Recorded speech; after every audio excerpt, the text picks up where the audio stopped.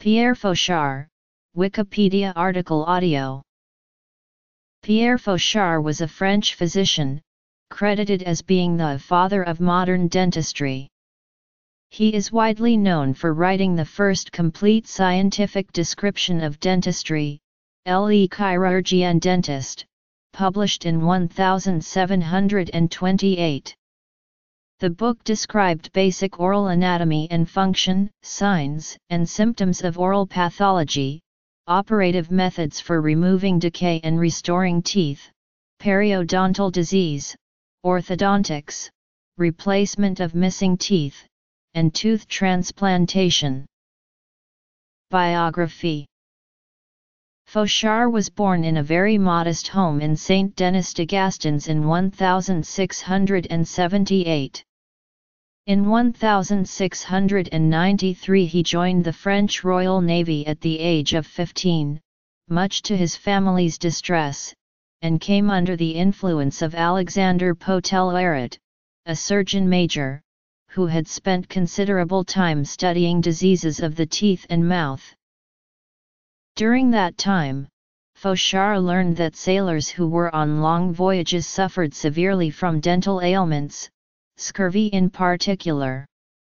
Eventually Major Poteleret inspired and encouraged him to read and carefully investigate the findings of his predecessors in the healing arts. He said he wanted to disseminate the knowledge he learned at sea based on actual practice. This idea led Fauchard to become a combat medic as Poteleret's protégé. Early years Once Fauchard left the Navy, he shortly settled down in Angers, where he practiced medicine at the University of Angers Hospital.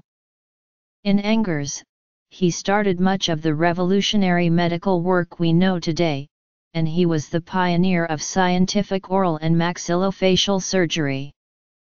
Fauchard often described himself as a chirurgien dentist, a term very rare at the time as dentists in the 17th century generally extracted decayed teeth rather than treating them.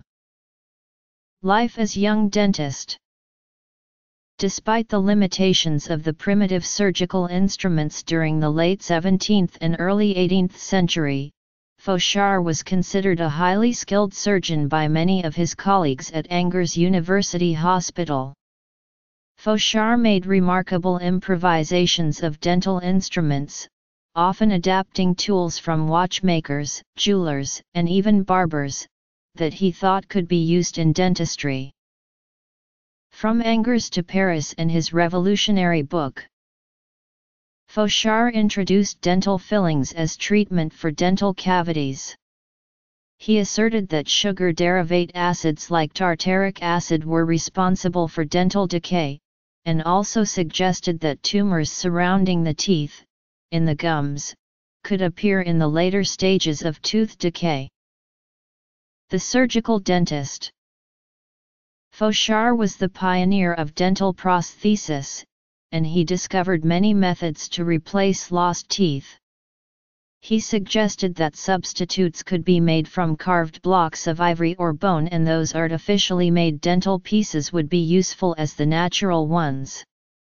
One of this methods stated that the artificial teeth would be held in place by tying them to the remaining solid teeth by pivots, using waxed thread or gold wire.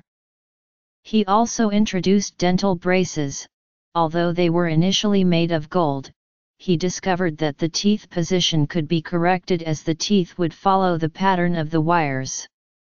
Waxed linen or silk threads were usually employed to fasten the braces. Highlights During 1716 to 1718, Fauchard gained great prestige. During that time he spent long periods away from home studying and sharing his medical practice with other surgeons across France. In 1718, Fauchard moved to Paris. During his stay in that city, Pierre realized that many medical libraries lacked good textbooks on dentistry and that an encyclopedic teaching book of oral surgery was needed, so he made the decision to write a professional dentist's treatise based on his medical experience. Final Days Legacy Notes For many months Fauchard gathered as many medical research books as he could, interviewed the many dentists he had met, and reviewed his personal diaries during his years at Angers to write his manual.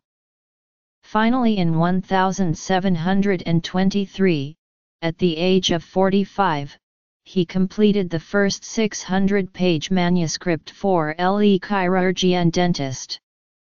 Fauchard sought further feedback from his peers over the next five years, and the manuscript had grown to 783 pages by the time it was published in 1728 in two volumes. The book was well received in the European medical community.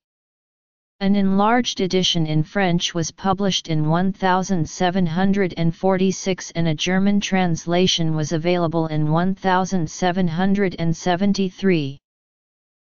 The book consisted of 38 chapters in Volume 1 and 26 chapters in Volume 2. Both volumes contained 42 plates depicting surgical instruments and appliances. Many of the ideas introduced in the book were totally new to dentistry. Pierre Fauchard engraved in his books many of his inventions of instruments made for oral surgery, such as the obturator and the now famous dentist's drill. The drill Fauchard developed was manual and powered by a catgut twisted around a cylinder. He also suggested in his book that oil of cloves and cinnamon be used for pulpitis. Fauchard recommended that human urine be used in the treatment of early stages of caries.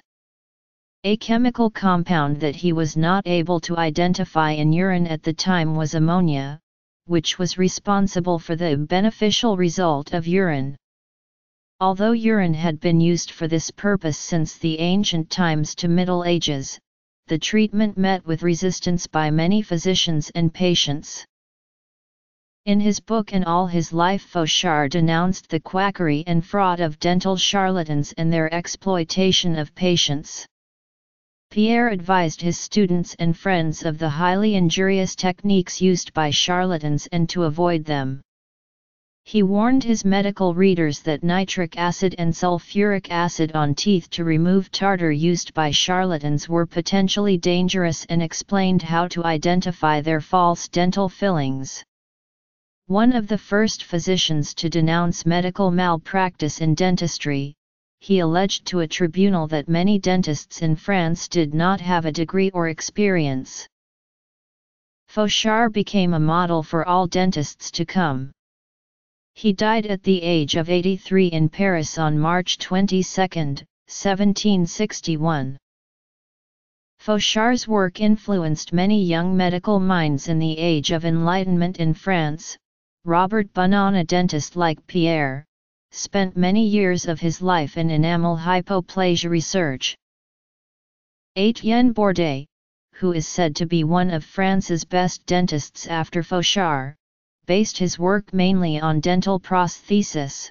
He also improved the way the amalgams were made and was the first physician to do gingivectomy on his patients when required.